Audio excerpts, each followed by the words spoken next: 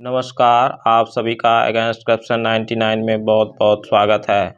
आज हम लोग जानेंगे आरटीआई एक्ट 2005 के तहत किस प्रकार अंचल कार्यालय में आरटीआई लगाकर अपने संबंधित जमाबंदी की जाँच आसानी से कर सकते हैं, जिससे कि मनमानी ढंग से किया गया जमाबंदी में छेड़छाड़ या अन्य कोई भ्रष्टाचार यदि हुआ है तो उसके खिलाफ आप आसानी से आर टी आरटीआई लगाकर जानकारी लेकर जाँच कर सकते हैं अपनी जमाबंदी से संबंधित। मैंने एक आरटीआई लगाया था, आप लोग भी अंचल कार्यालय से आर टी आरटीआई लगाकर अपने भूमि से संबंधित जमाबंदी की जाँच आसानी से करते हैं, कर सकते हैं। जो इस चैनल को अब तक सब्सक्राइब नहीं किए हैं, वो अवश्य सब्सक्राइब कर लें तथा बेल आइकन को दबाकर ऑल पर भी क्लिक कर लें।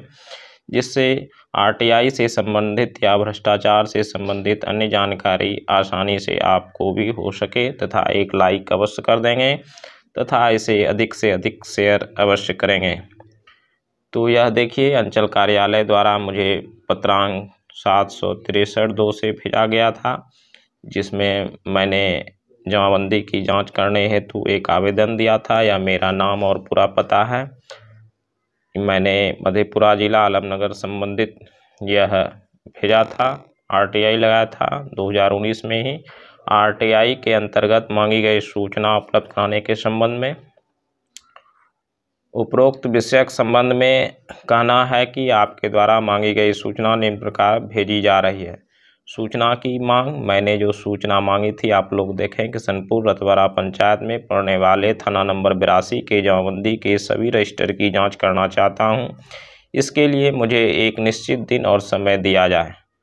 जवाब में मुझे भेजा गया है, आप अपने जमाबंदी से संबंधित जमाबंदी पंजी टू का अवलोकन आप किसी भी कार्य दिवस में दस बजे पूर्वाहन से पाँच बजे अपराह्न के बीच कर सकते हैं। जमाबंदी, पंजी संबंधी राजस्व कर्मचारी के पास उपलब्ध है। किसी भी तरह की कठिनाई आने पर आप अधोस्तरी से स्वयं या दूरभाष पर संपर्क कर सकते हैं। यह अंचलाधिकारी का हस्ताक्षर है। या वहाँ अंचल कार्यालय से संबंधित बाबू का हस्ताक्षर है। इस प्रकार मैंने आरटीआई लगाकर जमाबंदी से संबंधित जाँच के लिए निश्चित समय और दिनांक की मांग की थी, जिसमें मुझे यह जवाब प्राप्त करवाया गया था।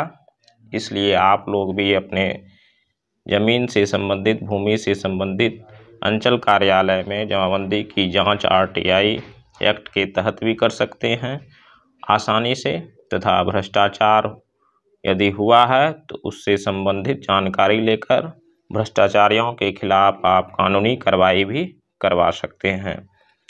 मैंने अगेंस्ट करप्शन 99 चैनल इसलिए शुरुआत किया है। इसमें तीन प्लेलिस्ट है। आप लोग प्लेलिस्ट में जाकर भी मस्ट यूज़ आरटीआई। एक प्लेलिस्ट है आरटीआई से संबंधित। अगेंस्ट करप्शन का एक प्लेलिस्ट है। एक हेल्थ इज़ वेल्थ का भी प्लेलिस्ट बना हुआ है। क्योंकि भ्रष्टाचार के खिलाफ लड़ने में बहुत सी कठिनाइयों का होना वाजिब हो जाता है। और इसके लिए हम लोगों को मानसिक स्वस्थ और शारीरिक स्वास्थ्य की भी आवश्यकता होती है। इसलिए मैंने स्वास्थ्य से संबंधित नेचुरल चिकित्सा की भी वीडियो बनाकर इस पर अपलोड किया है। इसलिए आप लोग भी उसे भी प्लेलिस्ट में जाकर अवश्य देखेंगे तथा इस चैनल को सपोर्ट अवश्य करेंगे। जय हिंद।